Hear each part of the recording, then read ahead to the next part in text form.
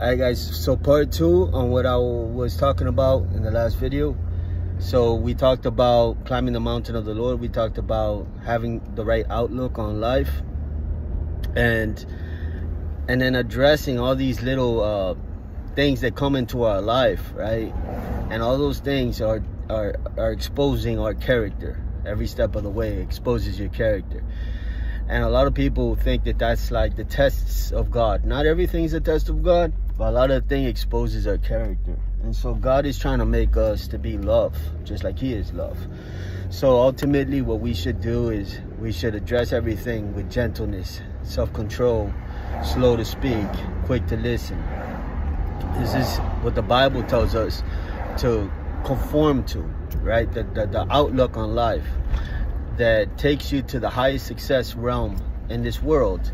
God is giving us the recipe and it is to conform to love. That way, you're not having a lot of enemies, right? Because it even says in the Bible to bless your enemies, to be peacemakers, right? And so the best quality life a person can have is not to have a bunch of plastic and materialism surrounding them or metals or precious metals or this or that, things that shine and things that are glamorous. The most epic life that we could have is a life that has joy, peace, and righteousness.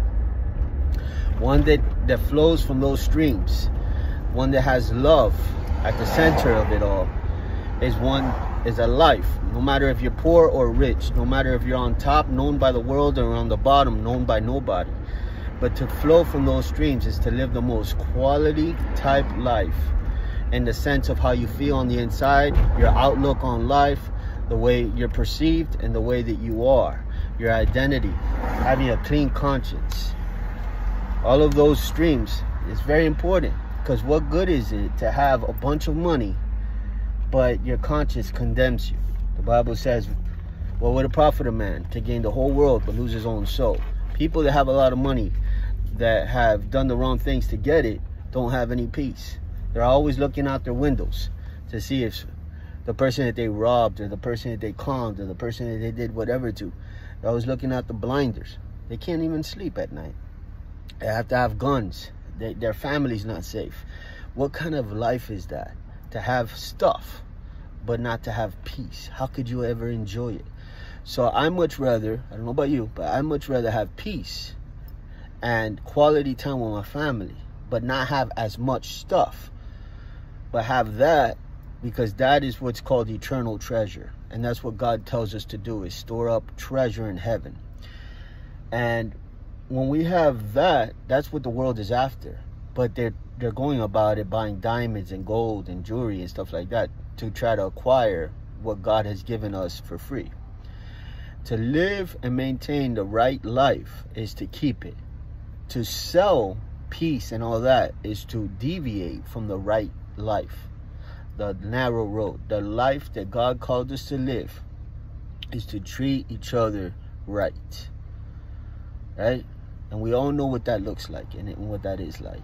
You shouldn't steal, you shouldn't kill, you shouldn't destroy you shouldn't you know and and god takes it further you shouldn't slander you shouldn't gossip you shouldn't you know be quick to to be angry the bible says you can be angry but eh, be angry and sin not.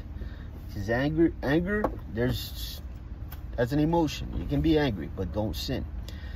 So to kind of and this is the journey. The journey is to get to that destination. And you're going to slip up and you're going to fall and you're going to get back up and you're going to keep going and you're going to keep up with repentance and you're to feel bad for missing the mark and, you, and it's to be okay because god's to forgive you and you're to get better next time. And, you, and, it's this process of molding and shaping and sculpting. He is the potter we are the clay. But the destination the lifestyle the journey is to maintain order in your mind in your heart and everything to give god glory and to become what he called us to be.